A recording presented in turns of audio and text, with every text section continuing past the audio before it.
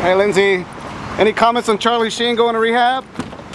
Any wish well, well, wish, well wishes? Thanks, Liz.